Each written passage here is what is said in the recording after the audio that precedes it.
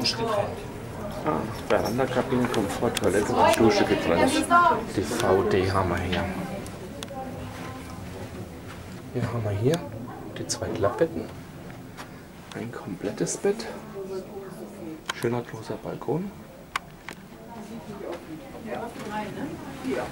Dann haben wir hier die Toilette getrennt. Und hier haben wir dann eine Dusche. Dusche und noch ein zweites Waschbecken. Ist natürlich sehr schön. Sind auch schön groß und nämlich eingerichtet.